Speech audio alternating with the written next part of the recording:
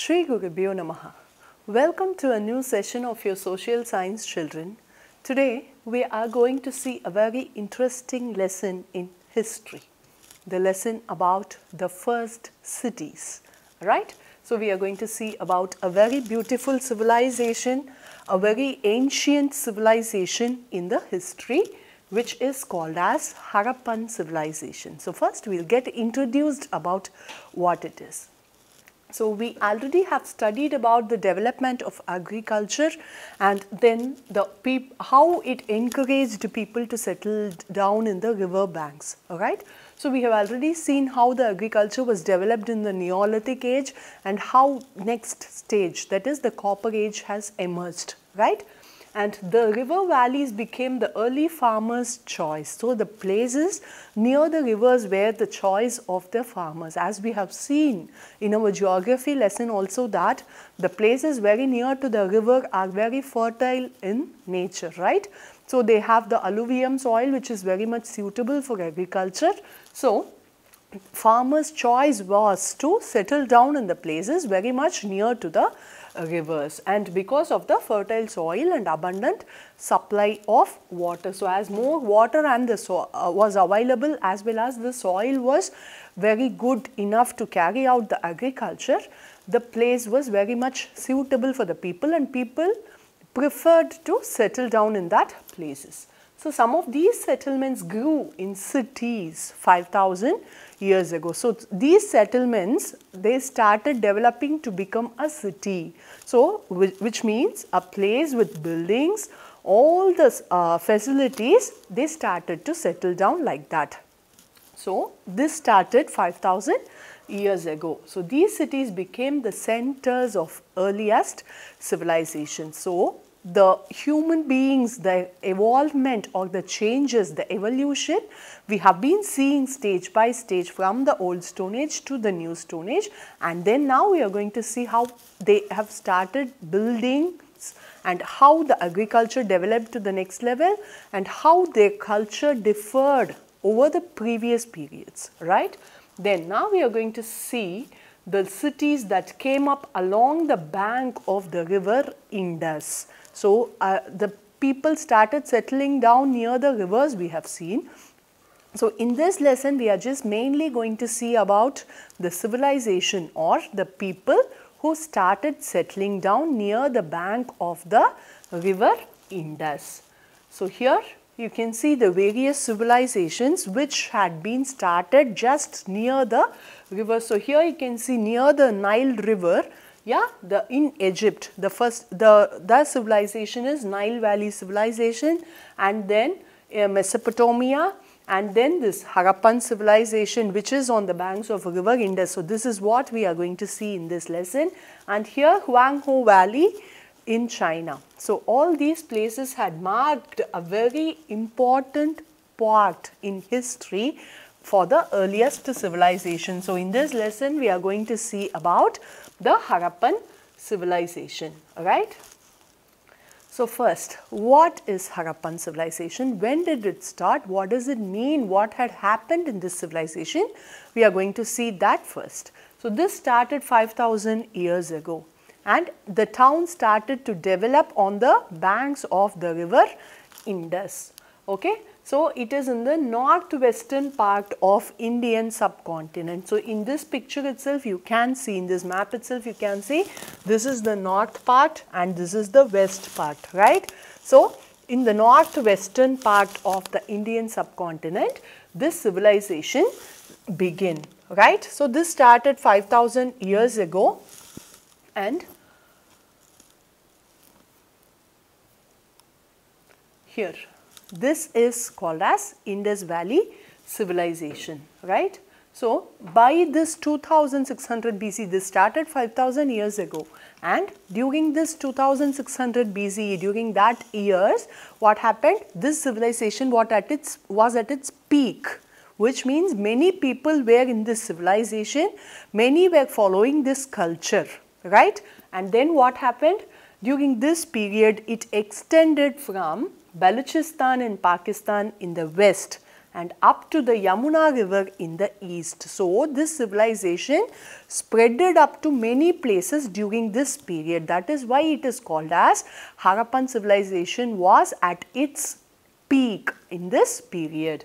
And then towards the south again it extended up to the Gulf of Cambay. After that so, this civilization lasted for almost 1000 years. So, this civilization flourished.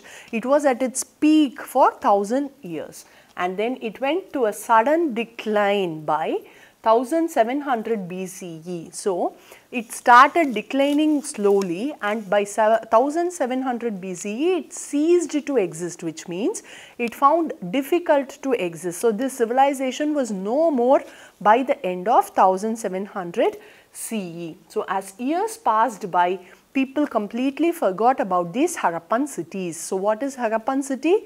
The place where this Harappan civilization was started and people lived, we call those places as Harappan cities. And after this 4000 years, right. So, after 4000 years of Harappan civilization, we accidentally have rediscovered these places. So, archaeologists have all of a sudden have rediscovered these places. So, it was rediscovered by engineers building a railway line in Punjab area of present day Pakistan when they found a ready supply of beautifully made bricks in a large mound nearby. So, how this place was found? when a railway line was built across Punjab. Okay, so these engineers when they were making railway lines, they all of a sudden found ready-made bricks. Okay, so how come a brick can be under a soil? So that is how this place was found. So after that many researches, many excavations took place and that is how this Harappan civilization had been found. So, the high quality of these bricks prompted archaeologists to excavate these sites. So, the bricks were of very high quality. So, that is a specialization or a very special thing about this Harappan civilization. Okay, so the bricks were very strong and they were of very high quality. We will be reading about that in the lesson. So, these bricks high quality made the archaeologists to carry out excavations in this site. So, here you can see the Harappan bricks. Okay. So, the period of these bricks are uh, said to be from 2500 to 1800 BCE which is a very high quality right. So, now we will see more about this Harappan civilization. So, they found the remains of once flourishing city and named it as Mohenjo-Daro which means the mound of the dead. Okay, so these uh, after all these excavations they found many remains and finally they named that place. Okay, the place where they found all these remains as Mohenjo-Daro. Fine. So soon another city was found which was very identical. So which was very similar to Mohenjo-Daro. Another city was found and that was named as Harappa. So, Harappa and Mohenjo-Daro are the two important cities of this Harappan civilization. So, since then archaeologists have discovered more than thousands of settlements belonging to Harappan civilization. So, apart from this Harappa and Mohenjo-Daro, many places have been discovered from this Harappan civilization. So, some of them like Harappa, Mohenjo-Daro and Mehergarh are located in Pakistan today. So, many of these locations are today in Pakistan which is the northwestern part of India and other places like Dholavira, Lothal, Kalibangan, Ropar and Banwali are all located in India. So, there are places of the same Harappan civilization which is located in India also, right. So, here you can see the various places of Harappan civilization, right. Dholavira, Mohenjo-Daro, Harappa, Kalibangan, Lothal. Yeah. So, all these places are the places where Harappan civilization existed, right.